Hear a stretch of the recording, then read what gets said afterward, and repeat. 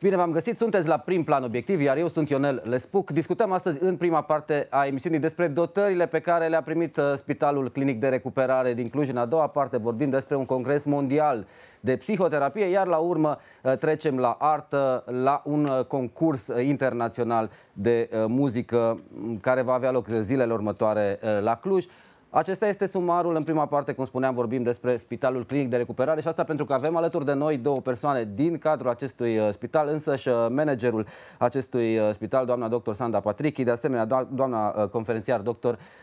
Viorela Ciortea, care este coordonatorul bazei de tratament. Să rămână, doamnelor, mulțumesc că ați acceptat invitația Bună noastră. ziua, mulțumim de inițiativă. Înainte să intrăm în discuție, vreau să vedem un material realizat de colegii de la știri, chiar la dumneavoastră acolo, la Spitalul de Recuperare, pentru că ați prezentat echipamente noi și apoi ne întoarcem să discutăm despre ele. Perfect.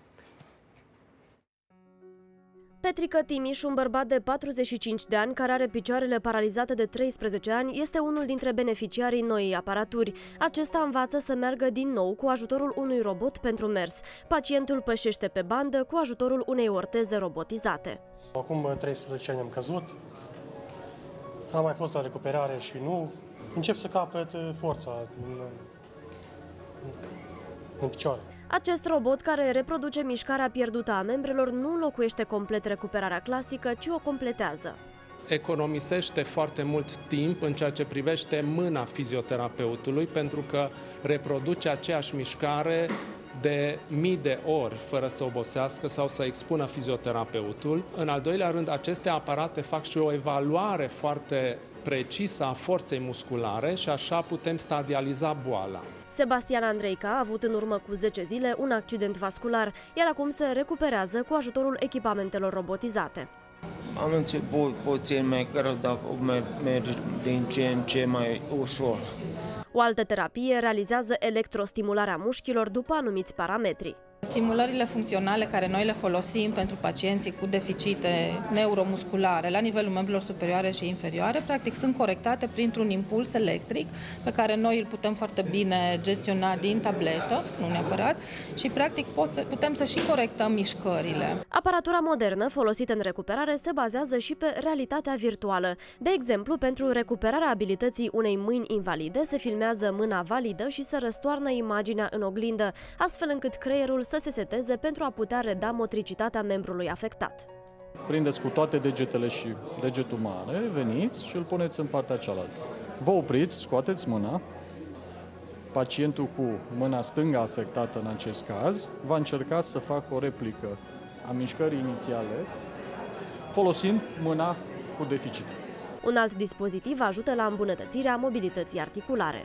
Brațul robotului suportă greutatea membrului superior, reduce tensiunea în articulații și uh, uh, musculatură și în felul acesta, stimulat de imagine și de scopul urmărit, va urmări unghiurile de mișcare și mobilitatea articulară, îmbunătățind fără să pună tensiune. Cel mai mare profit, cel mai mare beneficiu este acela că astfel de aparate sunt puse la dispoziția oamenilor care nu au uh, bani mulți să meargă la uh, tratament de sănătate, a oamenilor simpli care au un uh, regim de viață normal și care nu își permit tratamente în alte părți, la alte clinici private scumpe și așa mai departe.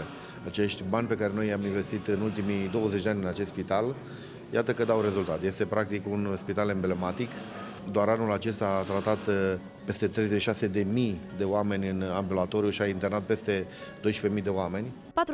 40% dintre beneficiarii serviciilor medicale vin din afara județului Cluj.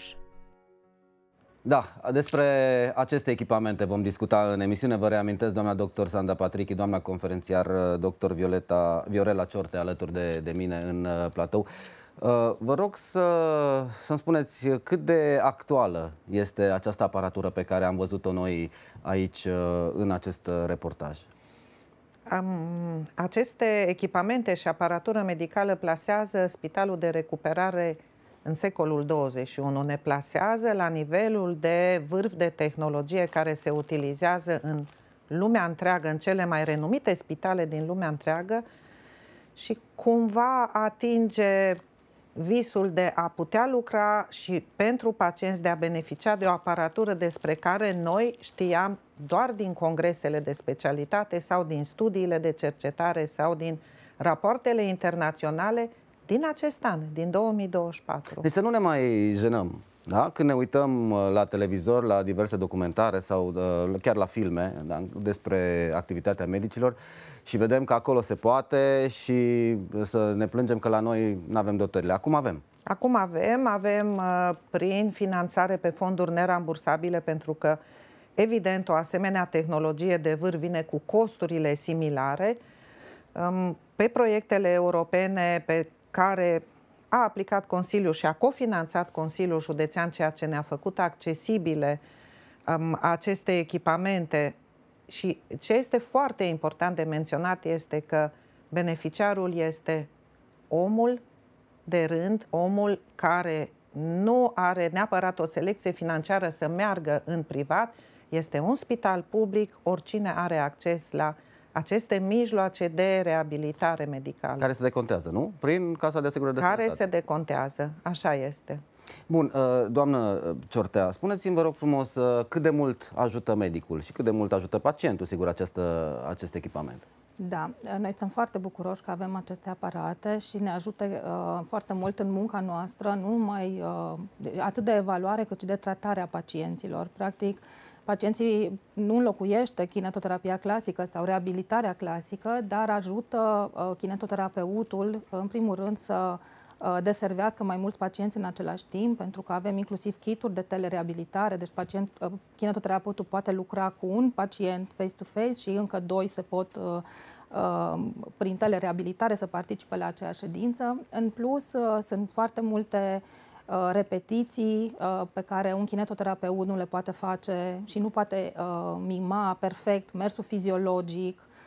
Deci ne ajută foarte mult în tratarea pacienților și în evaluare pentru că toate datele rămân stocate. Practic noi putem evalua progresul pacienților Uh, putem uh, adapta în funcție de evoluția pacienților, uh, mă rog, toți parametrii cu care lucrăm pe aceste aparate, care sunt și foarte prietenoase, deci au o interfață prietenoasă și se pot manevra foarte ușor de către noi și kinetoterapeuți. Acum, glumind, ce-ar fi semnat să fie adverse cumva, adică să, să ce să facă, să vă ia nu, la ceartă. Util, nu faceți foarte... bine, glumesc. Da. ușor de sunt utilizat. Ușor. Da, am înțeles, nu, nu glumeam friendly. doar.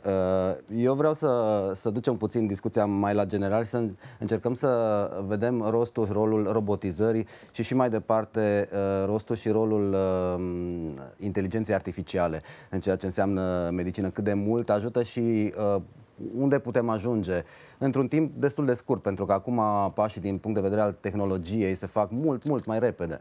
Corect. Până la urmă, dacă vorbim de aceste sisteme robotizate de reabilitare a mersului sau a mișcării membrelor membru superior, membru inferior, pornim de la orteze robotizate să explicăm. Practic acestea au uh, niște senzori care preiau informațiile despre limitările de mișcare, de mobilitate, de forță, de echilibru, de coordonare, de oricare ne putem uh, uh, corela la nivelul deficitului pacientului și își adaptează prin softul inclus în aparatură, își adaptează susținerea pe care o face um, sistemul robotizat, adică uh, asimetric, lateral, cum era domnul acela cu membrele inferioare cu deficit motor, toate aceste echipamente robotizate culeg informațiile de la nivelul pacientului, își adaptează programul de susținere și urmăresc în dinamică evoluția pacientului cu o adaptare sincronă a suportului, adică nu face în locul tău. Te lasă să lucrezi și își adaptează susținerea în funcție de evoluția ta personală, ceea ce e extraordinar. Unele dintre ele cu asistența kinetoterapeutului, altele doar sub supravegherea kinetoterapeutului și asta este foarte mare lucru. Asta vorbim de sistemele robotizate, iar sistemele care utilizează realitatea virtuală um, sunt interactive cu pacientul, um, vorbim despre ecrane tactile sau despre o realitate virtuală și imersivă și non-imersivă, în care pacientul este evaluat, apar anumite criterii de evaluare, este îndrumat și um, răspunde unor exerciții dintr-o librărie de exerciții pe grade diferite de dificultate și poate evolua și primește un raport în timp real și un raport final al progreselor făcute. Am înțeles. Uh, doamne Certa, inteligența artificială va înlocui într-un termen de câțiva ani o parte, va prelua, să zicem, o parte din uh, munca pe care o fac acum oamenii? În zona aceasta de sănătate? Cred că se vor completa. Deci, cred, că mai ales în medicină se vor completa. Deci vom fi acolo și noi, ca medici și fizioterapeuții care sunt și, bineînțeles, cu ajutorul inteligenței artificiale vom putea face mult mai mult pentru reabilitarea pacienților noștri. Da, și aș vrea să rămânem puțin la zona asta de AVC, de accident uh, vascular cerebral. Uh, sigur că presupun că depinde de la pacient la pacient cât de repede poate să progreseze sau dacă până la urmă poate să progreseze, unii dintre ei poate că nu reușesc foarte mult să, să progreseze. Care sunt, uh, nu știu, cuceririle din, din zona aceasta pentru, pentru cei care au AVC și să zicem că au, nu știu, uh, cum se cheamă, para... Uh, care rămân, paralizie, mă rog, cu hemipareză post-accident vascular. Păi, în primul rând, chiar sistemele noastre sunt adaptate cerințelor pacientului, pentru că avem sisteme cum ar fi cel pe care le-ați prezentat locomatul, care se adresează pacientului în faze inițiale, când nu poate să inițieze și nu poate să susțină mersul, dar avem și sisteme mobile, pe măsură ce progresul uh, pacientului este înregistrat, sunt sisteme mobile de mers pe care, le, practic, pacientul are mobilitatea de a se deplasa într-o încăpere, doar că este susținut și este Um, cumva um, nu este lăsat să cadă sau este susținut toată perioada aceasta. Sau avem sisteme care se desfășoară pe o șină, practic, de mers, în care când ajungem la uh, susținerea mersului și un mers oarecum fiziologic, putem să exersăm pe trepte, pe pante. Deci, practic, toate sistemele se adaptează sunt adaptate cerințelor în progres a pacientului. Dacă pacientul nu progresează, ceea ce nu ne dorim, bineînțeles, el poate menține, uh, rămâne mai mult timp în un anumit sistem care îl uh, susține mai mult decât altul. Bun, uh, în imagine l-am văzut pe un domn, într-adevăr, pe locomat și surpriza a fost că mie mi s-a părut în vârstă. Din punct de vedere medical, vreau să vă întreb, scade, să zicem, media de vârstă la care oamenii ajung să facă AVC? Pentru că eu, sigur, știam când eram sau în general știam că oamenii mai în vârstă ajung să facă accident vascular cerebral, cu mici excepții. În ultimii 20 de ani, deci în ultima generație, într-adevăr a scăzut uh, media de vârstă la care se instalează aceste afecțiuni uh, vasculare. Mm, sigur că patologia cardiovasculară este top factor de risc și nu numai la noi în țară, și intervin și alți factori legați de regimul de viață, de obișnuința de a face sport, de modul în care mâncăm, modul în care avem grijă de noi. Deci factorii de risc cumulați au dus la o scădere a vârstei la care da. se deci instalează Deci foarte important, aveți grijă ce mâncați și faceți sport. Nu faceți cred că astea sunt oricum niște indicații generale, nu doar pentru... Din păcate nu e doar un text, este realitatea zilelor noastre. Și dacă discutam de sistemele robotizate și accidentul vascular cerebral, să nu uităm de sistemele acestea de realitate virtuală, care, în baza principiului neuroplasticității creierului, refac engrama motorie și nu numai de coordonare, engrama mentală, engrama cerebrală care controlează mișcările, coordonarea, forța, controlul și așa mai departe. Deci și acele sisteme se adresează inclusiv pacienților cu patologie cerebrovasculară. Poate printre noi sunt uh, unii dintre cei care ar avea nevoie de recuperare. Uh, dintre, cele, dintre echipamentele, să zicem, sau uh, serviciile pe care dumneavoastră le oferiți, cum pot să, să ajungă la, la dumneavoastră? Sigur, presupun că există un sistem, adică există acel sistem, da, prin medicul de familie și așa mai departe, dar poate că ar trebui să le spunem uh, direct acum ca să înțeleagă, pentru că probabil că își doresc să ajungă și ei. Sistemul uzual în care se uh, primește un pacient într-o unitate sanitară publică, adică medicul de familie, trimiterea medicului de familie, contactul cu medicul specialist în specialitatea căruia se adresează. Dacă vorbim de accidentele cerebrale, vorbim de neurologie.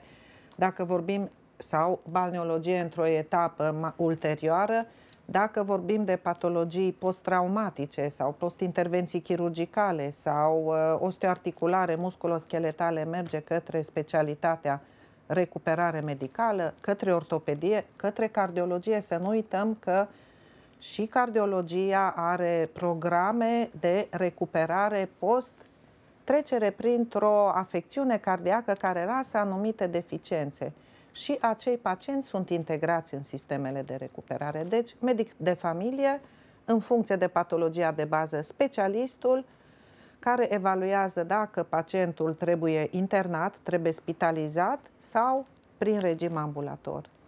Și ultima întrebare ar fi pe, pe sigur, acest uh, subiect. Uh, cât a costat acest echipament uh, robotizat pe care îl aveți acum în dotare? Um, echipamentele robotizate se... Nu numai.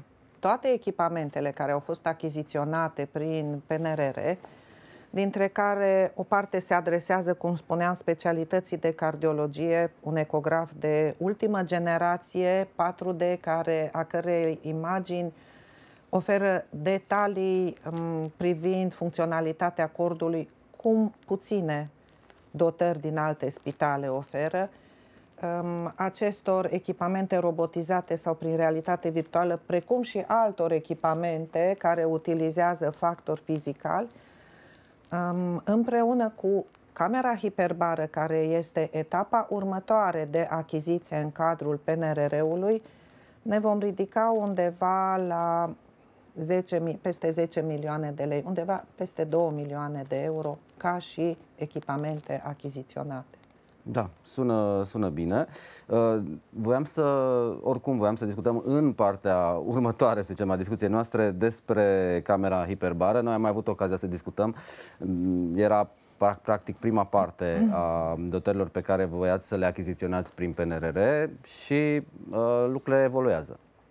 Lucrurile evoluează, este, sunt acest echipament și încă unul este în etapa de evaluare și de achiziție. Um, noi avem pregătiți din fiecare specialitate reprezentată în spitalul nostru câte un medic care a parcurs pregătirea, competența medicală de a lucra pe oxigenoterapie hiperbară și sigur că va aduce un plus comunității noastre, pacienților care au nevoie, pentru că peste tot în lume se folosește această metodă terapeutică complementară celorlalte paliere terapeutice cu foarte bune rezultate din punct de vedere al uh, eficienței și a scurtării perioadei tratamentelor clasice. Da, uite că ați spus uh, ceva interesant la care nu m-am gândit. Adică pentru toate aceste echipamente, uh, înțeleg toate mă, pe care le, le cumpărați, e necesar ca angajații pe care aveți să se pregătească în plus. Uh, ce au făcut ei? Poate ne spuneți dumneavoastră, domnule Șortea, cel puțin pe zona asta de locomat și ce da, păi aparate ați mai primit. Am, uh, a urmat uh, o serie de traininguri și unii dintre ei chiar au obținut diplome de la producătorul uh, mare, să zic așa. Care unde e? Uh, în ce țară? Nu în Elveția. Deci au fost în Elveția? Sau au venit nu, elvețienii aici? Nu. E, au fost traininguri online, majoritatea, ah, okay. dar cu specialiști uh, de ai lor. Uh, Diplome valabile internațional exact. și asta trebuie să spunem. Um, trainingul finalizat cu examene. Deci nu vorbim de o hârtie primită și la un moment dat, ei dacă vor urma cursuri, chiar asta era ultima discuție, vor putea la rândul lor să uh, îi învețe pe ceilalți. Deci, practic, uh, merg mai departe cu pregătirea. Da, dacă stau să mă gândesc acum în contextul în care apar tehnologii noi, toate sau multe dintre ele ar trebui deja predate din facultate. Mă gândesc și eu, poate greșesc, nu știu. Da, așa este. Și avem cursuri și stagii de pregătire. Avem uh, uh, cu ajutorul doamnei manager și uh, cu ajutorul universității. Anul acesta va fi în, derulat la noi în spital uh, a doua ediție a unei școli de vară de reabilitare robotică. Deci, într-adevăr, ne, ne preocupă acest lucru. Bun, uh, doamnă Patrichi, ce, ce urmează, ce anume mai aveți în plan? Nu știu, lucruri pentru care ați depus proiecte sau lucruri pentru care doar vă gândiți să, să depuneți? În... PNRR-ul mai are 2 ani jumate, 2 ani și 3 luni. Să accesăm toate posibilele căi de finanțare. În uh, planul imediat apropiat avem uh, suntem în așteptarea contractării um, unui proiect care vizează eficientizarea energetică, care eficientizează reabilitarea energetică a spitalului, în care se vor efectua lucrări de anvelopare, lucrări de uh, asigurare a clima confortului pentru pacienți prin ventiloconvectoare. Vom poziționa panouri solare și panouri fotovoltaice pe spital, în așa fel încât să completăm prin producere de energie și prin utilizarea acelor panouri la consumurile noastre și sistem de ventilație, la fel, în blocul operator este în finalizare, dar și pe restul structurilor. Și acesta este un program mare, un program, un proiect de o valoare foarte mare. La eficientizarea termică, țin minte că, de exemplu, la Spitalul Municipal s-au schimbat inclusiv ferestrele. Da, Așa se și, și soluția de tâmplărie termopan, pentru că face parte din indicatorii de monitorizare a eficientizării Practic, va fi o renovare completă a clădirii. Așa va fi iarăși o, o luptă la care ne ne băgăm cu toții în, în așteptarea unei soluții finale de înaltă calitate a spitalului pentru, pentru toți cetățenii noștri, de fapt. Suntem un spital public, subliniez odată și încă o dată acest lucru. Deci toate aceste realizări sunt extraordinare pentru că sunt accesibile tuturor. Uh, vreau să scoatem în evidență pe finalul discuției noastre un număr de pacienți, dacă îl aveți, uh, și poate chiar să segmentăm câți dintre ei sunt din Cluj, pentru că e un spital al Clujului, da, în care Clujul investește, și câți uh, vin din alte zone. În mod uh, uzual avem între 11 și 12.000 de pacienți spitalizați continuu, respectiv internați, și um, între 32 și 36 de mii de pacienți în sistem ambulator. Dintre aceștia, circa 40% provin din alte județe în afara Clujului, deci cu extensie națională, dar trebuie să luăm în considerare că spital în profil recuperare multidisciplinară, pentru că avem multe specialități reprezentate, există doar două la nivel național – deci, adresabilitatea cumva este de așteptat dacă un pacient vrea, odată cu internarea sau cu prezența în spital, să fie consultat, evaluat de mai multe specialități, vine, se adresează spitalului nostru. Mulțumesc frumos! Dacă ați, dacă ați urmărit emisiunea, ați înțeles exact care sunt concluziile. Avem echipament modern la Spitalul de Recuperare din Cluj, care îi ajută foarte mult pe, pe medici, pe fizioterapeuți, în procesul de a-i reînvăța pe, pe oamenii care au suferit diverse afecțiuni să-și folosească membre sau, da, în principal membre, părți ale corpului afectate de, și de boală. Și să nu uităm că avem expertiza personalului medical. Asta facem de 48 de ani, ne uh, actualizăm cunoștințele, deci toate aceste echipamente, toată această infrastructură, fără expertiza umană, nu are valoare. Deci, important asta remarca. E cel mai și important. sunt peste 10 milioane de lei, undeva la peste 2 milioane de euro investiți din Planul Național de Redresare și Reziliență cu sprijinul Consiliului Județean. Uh, important de, de, de zis și acest lucru. Mulțumesc foarte mult, doamnă doctor Sanda Patrichi, doamnă Mulțumim. conferențiar uh, doctor Viorela Ciortea, pentru această discuție. În a doua parte a emisiunii vom rămâne într-o zonă de terapie, dar până acolo uh, mergem să vedem cum s-a modernizat școala Nicolae Iorga din Iris cu fonduri europene. Spațiile alternative de învățare au fost finalizate de curând. Acestea găzduiesc fie ore, fie activități extrașcolare într-un cadru mai puțin formal, dotat cu canapele, măsuțe extensibile și fotolii de tip puf, toate alese special pentru confortul celor mici. Elevii sunt încântați de faptul că pot învăța și în afara sălilor de clasă. Ne place foarte mult cum arată aici, așa colorat viu. Nu multe școli au aceste posibilități, chiar îmi pare bine că sunt la această școală. Mi se pare bine că, pe de-o parte, avem mai multe, cum să spun eu, oportunități de a învăța și mai ales că acum avem și o sală de jocuri în care ne putem distra și a face mai multe chestii aici. Orele sunt mai relaxante și pentru cadrele didactice. Ne dorim să oferim copiilor experiențe de diferite feluri. Uh, lucrurile aici se întâmplă un pic altfel. Toată lumea e mai relaxată, parcă și conexiunea cumva între noi și ei e mai bună decât acolo unde, da, ei sunt în bănci, sunt în la catedră. E altceva aici și extrem de binevenit. Desfășurăm aici, după cum bine vedeți, și ore normale, desfășurăm și activități extrașcolare. Pe lângă spațiile neconvenționale, holurile școlii au un design modern cu mesaje motivaționale, dar și cu fotografii ale unor personalități despre care elevii pot afla lucruri interesante. Desenele vor fi însoțite și de un cod QR pe care elevii îl vor putea scana pentru a citi mai multe detalii despre personalitatea pe care o au în față. Am încercat și ne-am dorit un design interior care să stimuleze elevii să îi ajutăm să se identifice cu personalitatea școlii noastre Nicolae Iorga, astfel holul de la parter este dedicat lui Nicolae Iorga. La etaje și pe Casa Scărilor am, am plasat mesaje motivaționale pentru elevi. În plus, există și un palier unde cei mici sunt provocați la joacă. Chiar îmi place. Scolorați pereții, jocuri. Ce joc îți place cel mai mult? Tronul. Sălile de clasă au fost de asemenea modernizate. Elevii sunt încântați ca ocazia să învețe într-o școală atât de modernă și prietenoasă. Bine mă simt și îmi place cel mai mult aici, sala de sport. Este foarte frumos și mesajele de pe pereți, pe hol, sunt foarte inspiraționale. La școala asta îmi place foarte mult că s-a renovat și e foarte mare. Avem uh, o sală de sport mare, clase mai faine. Prima școală din cartierul Iris a fost înființată în 1920. Da, mi-a plăcut, uh, mi-au plăcut copiii de la școala Nicolae Iorga, ați văzut toți cu uniforme uh, la fel, uh, acele tricouri roșii foarte drăguți. În partea a doua a emisiunii vorbim uh, despre uh, conferința mondială de psihoterapie pozitivă.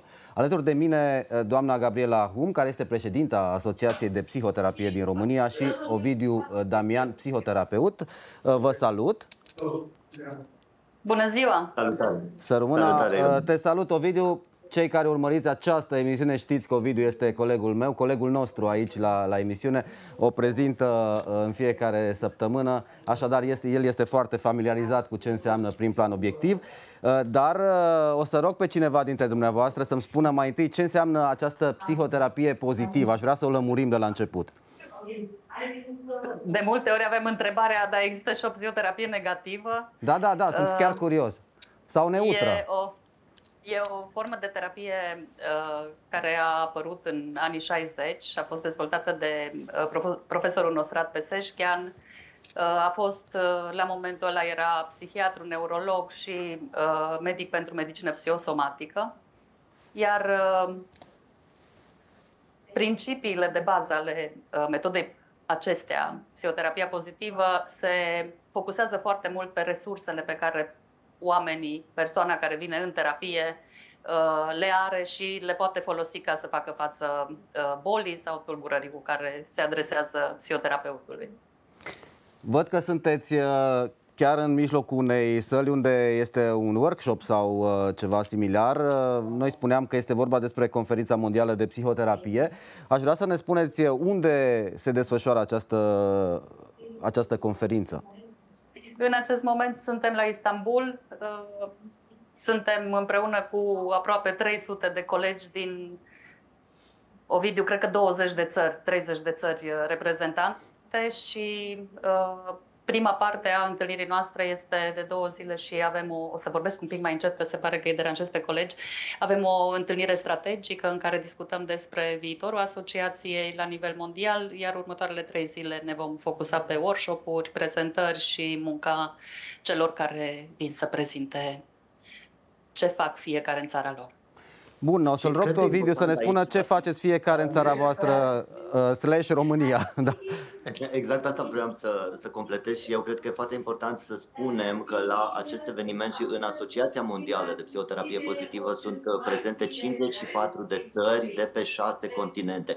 Așadar, uh, colegi care, iată, deși există și lucrează într-un context cultural diferit, se pot întâlni în acest eveniment în care împărțim și uh, discutăm despre practicile specifice pe care care le avem, astfel încât să punem la comun acele metode care, care vedem că funcționează și care ajută pe, pe, pe oamenii cu care, cu care lucrăm. România e foarte bine reprezentată în această asociație. Gabriela Hum, colega mea de ecran acum, face parte și din board WAP, așa cum, cum este ea denumită, Asociația Mondială de Psihoterapie Pozitivă, iar la Cluj-Napoca avem un uh, centru de formare foarte, foarte bun. Uh, cu ani în urmă și eu am fost elev cu nivele de rigoare și am fost format în această metodă de către, de către Gabriela Hum. Uh, important, iarăși de precizat, este faptul că în asociația noastră sunt colegi și din Rusia și din Ucraina. A fost un moment extrem de important acela în care războiul a început și în care întreaga asociație a început să ofere suport, în primul rând, colegilor noștri psihologi, pentru că,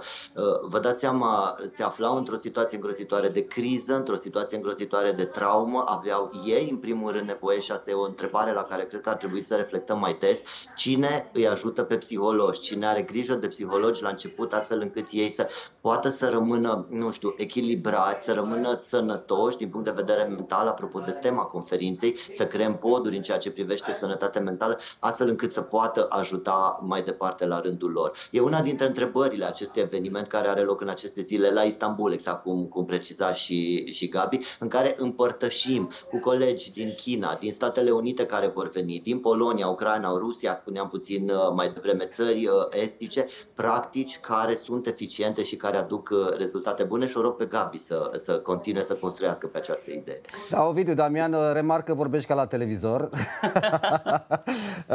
Aș vrea, da, foarte, foarte schematic, pentru că intervenția noastră, intervenția noastră așa a fost gândită puțin mai, mai scurt, având în vedere că sunteți în mijlocul unei activități acolo, despre sănătatea mentală a românilor, a oamenilor în, aceaste, în aceste vremuri.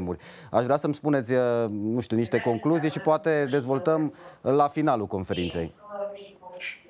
Aș vrea să spun câteva idei pe care le-am preluat din conferință și care uh, cred că ne ajută și pe noi ca români, nu doar uh, uh, colegii care au adus aceste idei în, în discuție.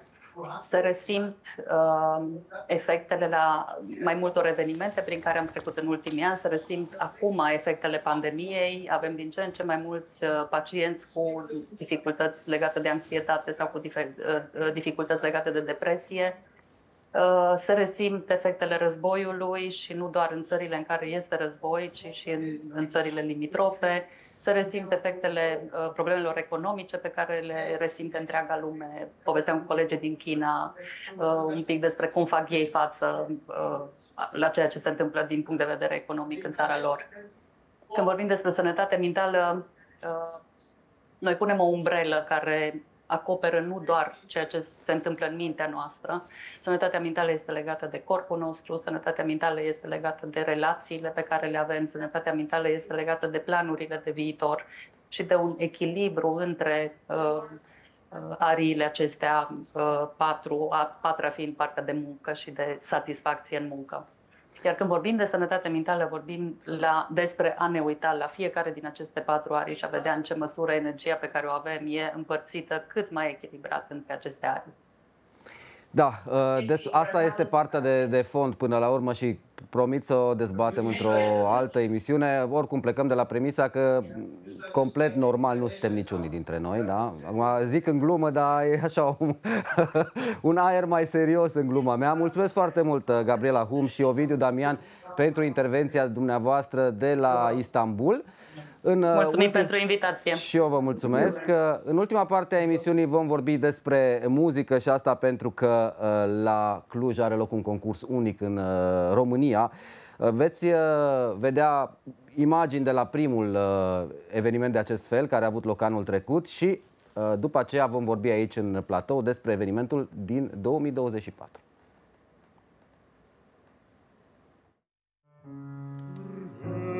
So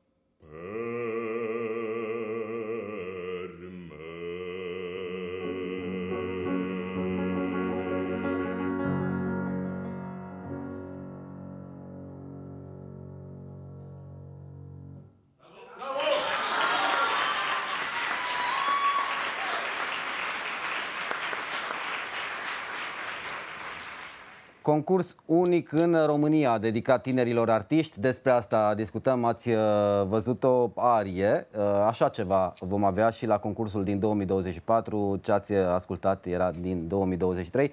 Alături de mine se află profesor dr. Gheorghe uh, Victor Dumănescu, dirijor și domnul uh, Petre Burcă, director artistic solist al Operei uh, Române de la Cluj. Vă salut, domnilor, mulțumesc că ați acceptat Mulțumim. invitația noastră. Mulțumim. Vă rog să-mi vorbiți despre acest eveniment care, iată, este la a doua ediție, da? Poartă numele Alexandru Fărcaș. Mai întâi, poate pe scurt, Cine e Alexandru Fărcaș pentru cei care ne urmăresc și nu știu, da foarte pe scurt, ca să trecem după aceea la lucruri mai serioase. Mai adică, da. da. Aici dumneavoastră. Uh, Alexandru Fărcaș reprezintă pentru Cluj, în primul rând, dar practic pentru întreaga țară, un fenomen aparte în ceea ce privește pedagogia cântului. El a reușit, în perioada cât a fost și conducătorul clasei de operă a Academiei de Muzică, după aceea și rector, și spre sfârșitul vieții, și directorul Operei Naționale, să promoveze cu o îndrăzneală extraordinară tinerele talente. Este un merit cu totul și cu totul deosebit. Prea puțină lume, cred că la vremea respectivă, și îmi pot permite să spun treaba asta pentru că noi am colaborat ani îndelungați, se gândea că va reuși să aibă asemenea victorii, putem spune, pe linia cântului vocal. Uitați-vă bine în lume câți absolvenți ai Academiei de Muzică sunt soliști ai reputatelor instituții muzicale din lume. N-are rost să-i mai enumăr acum. Mulți. Sunt foarte mulți. Și o mare parte din ei au trecut chiar prin mâna lui Alexandru Fărcaș. Atunci, uh, sigur, se explică foarte, foarte ușor de ce încurajați, practic, acum vocile tinere. 18 Este o continuitate. Încercăm ceea ce a început el să facem și astăzi. Da. Mi-aș, mi-aș permite să mai adaug două lucruri foarte importante pe care el le-a realizat. În, prima dată, în primul și primul rând, conservatorul a primit titulatură de Academie de muzică, de muzică și iar opera, care era Opera Română Cluj, a devenit Opera Națională Română din Cluj, ceea ce este uh, foarte important. Sunt doar trei opere naționale în România. Opera de la București, Opera Timișoara, Opera Iași și Opera Cluj, mă scuzați, patru. patru. Dar prima operă a acestei țărișoare este Opera Națională Română din Cluj. Și atunci haideți să venim la acest concurs pe care îl uh, organizați și am văzut că de fapt uh, este un juriu foarte important, uh, e vorba de nume importante ale scenei românești, care, scenei clujene și principal, nu doar, care mondiale. sunt prezente da, în organizarea acestui eveniment și o să vă rog pe noastră să ne spuneți mai multe. Să spun, maestre? Mulțumesc. Deci, Uh, președintele jurului este Adela, soprana Adela Zaharia, care cântă pe cele mai mari scene din lume și a terminat aici Academia de Muzică, a plecat la Düsseldorf prima dată, iar după aia, prin intermediul impresarilor, a ajuns la acest nivel să cânte pe anul viitor, va cânta la Metropolitan, împreună cu alți uh, doi uh, soliști care au terminat uh, tot la Academia de Muzică, împreună la Metropolitan Boema. Uh, este Andreas Masov, care momentan este unul dintre cei mai puternici impresari din lume și lucrează la uh, firma de impresariat lui uh, Levine și dânsul este aici. După aceea, Curti Andras, regizor de renume mondial, a primele concerte ale lui Pavarotti, Carreras, cei trei, le-a regizat dânsul. Este Adrian Morar, care este dirijorul permanent al Operei Naționale Române din Cluj, este prima asistentă a domnului Fărcaș, de la Academia de Muzică Ramona Eremia Coman și unul dintre cei mai prestigioși baritoni ai țării momentan, care este al Operei Naționale Române din București, Adrian Mărcan. Și Brașov. Și este și la Brașov, da, în același timp. Dar cântă în toate operele din țară și este da, foarte apreciat. În timp ce vorbeați, uh, am observat tocmai chestiunea asta. Artiști uh, plecați de la Cluj și care s-au realizat în străinătate, exact pe modelul despre care spuneați uh, dumneavoastră. Ce, ce așteptări aveți de la această ediție a competiției? Având în vedere că primele informații deja au fost trecute, în sensul că a avut loc o etapă eliminatorie, printr-o audiție online cu care, să fiu sincer, o spun și acum și nu, aici, de nu prea sunt de acord. da, asta este, nu, din păcate. Așa, dar se prevede o calitate extraordinară a concursului în continuare, pentru că vocile tinerilor care au concurat deja uh, sunt de excepție, realmente. Și va fi foarte greu juriului să aleagă cei 15 laureați care vor primi câte un premiu. Nu va fi ușor. Numărul lor a fost 107. Este un număr foarte mare da. și la niciun concurs până acum în România nu au fost atâția, au rămas 76 care vor concura pentru 15 premii. Și ei vin, ei vin din uh, toată țara. Toată țara. Toată țara de la facultățile cu profil muzică. Este foarte important, este vorba pentru studenți între 18-28 de ani care sunt încadrați în uh, sistemul uh, educativ al academiilor sau facultăților de, de profil muzical. Nu sunt studenți străini, doar studenți români.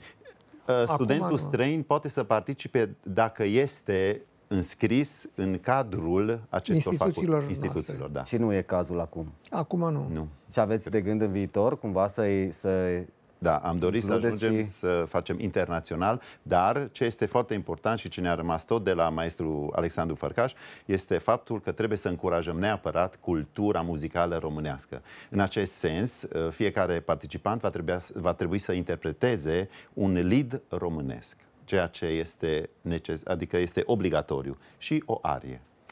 Deci acestea sunt cele două probe pe care le au uh, fiecare dintre concurenți? Da, prima da. probă a fost video, au prezentat... Cea cu lidul? Da, au prezentat uh, o arie, au fost jurizat de către cei șase, mai departe au ajuns 76, iar acum, fa- față în față, va trebui să interpreteze un lead românesc și o arie pe care uh, au ales-o tot jurul din programul pe care l-au prezentat ei în uh, înscriere. De ce nu v-a plăcut uh, audiția online? Credeți că au putut interveni, au putut uh, Vă spun acum ceva? din practică. Nu-i prima dată când mă întâlnesc cu această formulă, dar uh, proba, proba online, mai ales în meseria asta, poate fi foarte mincinoasă. Poate tocmai de aceea Acum aveți o probă live în e care pe, de, da, deci, puteți și în general, eu militez, militez așa din experiență, vă spun, militez pentru orice tip de concurs, nu numai cel vocal, și cel instrumental, așa, proba pe viu. Da, erau, acum stau să mă gândesc că erau și niște artiști, sigur, de alt gen muzical, care doar se prefăceau că, știți, cântă și erau, erau alții Astăzi în este foarte ușor să cânti. E un microfon și îți mixezi vocea și ești extraordinar. Aș, da. mai, uh, aș mai dori să spun ceva, că este important. 22 și 23 sunt uh, zilele în care publicul poate să-i vadă pe acești studenți cum se manifestă la Academia de Muzică Gheorghe Dima din Cluj-Napoca, care ne este partener pe lângă primăria Cluj-Napoca, bineînțeles, și de la ora 10 la 20, de la 6 la 2, de la 8, la 16, 16 la 20, vineri și sâmbătă, iar duminică este gala de la ora 18 la sala auditoriu maximum al Colegiului uh, Academic. Unde se țin concertele filarmonice? Această ultimă parte va fi filmată de da, TVR Cluj. Da, da, suntem parteneri. Suntem da. parteneri, da, trebuie să, să specificăm mult. acest lucru și vor vedea cei care vor participa pe cei... Pe toți, pe toți care au luat premii. 15, 15... 15 și maestru Dumănescu, maestru Victor Gheorghe Dumănescu, mă scuzați, va uh, conduce Orchestra Filarmonicii de Stat alături Transilvania, de, alături de, de Adrian Morar. Ce au de câștigat acești 15 uh, viitori câștigători ai competiției? Premiile se însumează la aproximativ 10.000 uh, de euro. Marele premiu 2.000, 1.000, 500, 1800, câteva premii de 500, câteva uh, uh, premii de 300 pe care le-am denumit cu diferi, diferite personalități ale muzicii românești și nu, nu doar și uh, mai primesc de la Opera din Craiova un rol în următoarea stagiune și de la Opera Maghiară de Stat, tot așa, un rol în următoarea stagiune. Iar faptul că am văzut în juriu că aveți uh, și un impresar. Da, va fi duminică o audiție pentru cei care nu se încadrează, cei care deja au terminat facultatea, ca să le oferim o șansă de a ajunge pe scenele din străinătate. Asta, Andreas asta mă gândeam că, practic, asculte. nu banii sunt principalul motor, nu? Eu cred că nu. Care îndeamnă Banii pe, îi primești, pe îi concurenți. cheltuiești. da. și Eu faptul zic că, că prestigiu. poți să, da, uh, și poți să urmeze după aceea o carieră neașteptată, să Da, spunem. internațională. Așa cum o fac mulți, foarte mulți studenți ai Academiei de Muzică din Cluj-Napoca. Foarte mulți. Ce s-a întâmplat cu cei de anul trecut? Uh, Cei de anul trecut mai sunt studenți, fiindcă anul trecut a fost ceva special. Am făcut pentru anul 1 și 2. Doi, atât.